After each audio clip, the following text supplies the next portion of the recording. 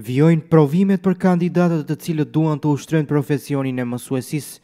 Prej datës njëzet e nëntë tetor deri në tridhjetë e një tetor, treqind e pesëdhjetë e katër kandidatë do t'i nënshtrohen provimit të mësuesisë për profilin e gjuhë letërsisë.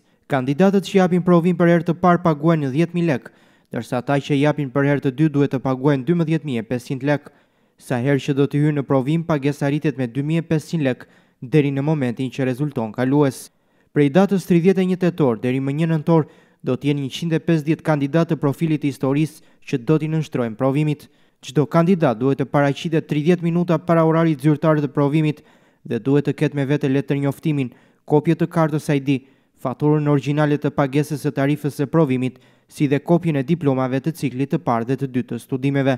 Të gjithë të diplomuarit, por edhe mësuesit, duhet t'i nënshtrohen testimit të mësuesve për t'u punësuar në një prej shkollave të arsimit parauniversitar.